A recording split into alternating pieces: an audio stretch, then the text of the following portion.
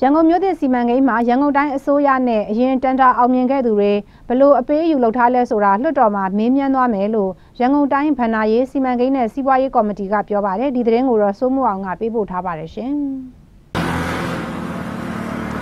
ရန်ကုန်မြို့သစ်စီမံကိန်းကိုကမ္ဘာ့ဘဏ်ရဲ့ချင်းကူနဲ့ရန်ကုန်ကြီးမြင့်တဲ့တစ်ပတ်ကမှတိစောက်ဖို့စီမံနေပြီမယ်အဲ့ဒီစီမံကိန်းနဲ့ပတ်သက်လို့အစိုးရနဲ့လွှတ်တော်ကြားမှာဆွေးနွေးဖို့အတွက်ညှိနှိုင်းနေစေလို့ဆိုပါတယ်အရင်အစိုးရလက်ထက်မှာရွှေတန်လင်ကုမ္ပဏီ ရွှေပုပ်ပါကုမ္ပဏီစားတဲ့ကုမ္ပဏီ၃ခုက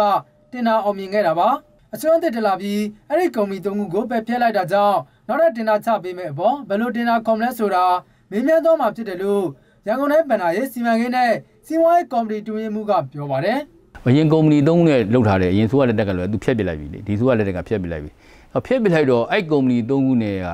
ဘလို့စကားပြောပြီးဖျက်ပစ်တယ်လဲဆိုတော့စာချုပ်သဘောတရားကိုအငယ်တို့မသိသေးဘူးအငယ်တို့အဲ့ဒါလေးမေးမေးရမယ်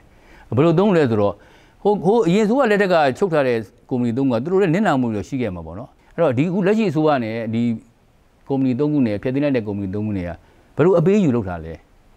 ဘလို့နင့်နာကြီးဘလို့ပြန်ပြီးမြို့သစ်စီမံကိန်းကောင်တဲ့စတင်ကောင်တဲ့ဘောတော့ဘလို့ခန်းကဏ္ဍအဲ့ကုမ္ပဏီသုံးခုကပါမှာလဲနောက်ကုမ္ပဏီဘလို့တင်တာခေါ်မှာလဲဘလို့လုပ်မှာလဲပေါ့ရန်ကုန်မြို့သစ်စီမံကိန်းနဲ့ပတ်သက်လို့ရင်ဆိုးရလက်ထက်မှာတွန်ရင်းနဲ့ဒလားမြို့နယ်ကမြေက3000လောက်ကိုမြို့မြေအဖြစ်သတ်မှတ်ထားပေမဲ့လက်ရှိဆိုရလက်ထက်မှာတော့ပြည်တော်စုအဆင့်ကနေ အမျိုးသားမြေအသုံးချမှုမူဝါဒကိုတရားဝင်ဥပဒေမထုတ်ပြန်သေးဘူးလို့ဆိုပါတယ်လွှတ်တော်ကိုယ်စားလှယ်တွေကတော့မြို့သစ်စီမံကိန်းနဲ့ပတ်သက်လို့မြေရရောက်ခြင်းကိစ္စတွေတိစော်ရေးကိစ္စတွေကိုတိုင်းဒေသကြီးလွှတ်တော်အတွင်းမှာမင်းမြန်ဖို့စာရင်းပေးထားတယ်လို့ဦးကျော်စီအားကပြောပါတယ်ရန်ကုန်မြို့သစ်စီမံကိန်းဟာရေရှည်စီမံကိန်းတစ်ခုအနေနဲ့လွှတ်ဆောင်တင်ပေမဲ့အရန်ကျွမ်းကျင်မှုလိုတယ်လို့စီးပွားရေးလေးလာသုံးသပ်သူကပြောပါတယ်ဟိုမြို့ကြီးတွေတိုးတက်ကျယ်ပြန့်နေဆိုတာက နော်သူ့ဟာသူကျယ်ပြန့်တာနဲ့စီမံကိန်းချပြီးလောက်တာမတူဘူးအမြို့သစ်စီမံကိန်းဆိုတာကအရန်ပညာသားပါတယ်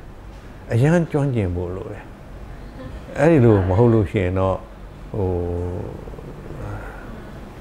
မေဂါပေးဤမရလို့ဖြစ်သွားတတ်တယ်အဲ့ဒါသိအရေးကြီးပါတယ်ရန်ကုန်မြို့သစ်စီမံကိန်းမှာကုမ္ပဏီများစုပါဝင်နိုင်ဖို့စီမံထားတယ်လို့ရန်ကုန်တိုင်းဆိုရဘွဲကနေပြောဆိုမှုတွေရှိခဲ့ပြီးမြန်မာနိုင်ငံဆောက်လုပ်ရေးလုပ်ငန်းရှင်များအသင်းပါဝင် ပိုရီကကုမ္ပဏီတချို့ကလည်းမြို့သစ်စီမံကိန်းမှာပါဝင်နိုင်ဖို့တင်ပြထားတာတွေရှိနေပါတယ်ကျွန်တော်ကဆူမှုပါမှာ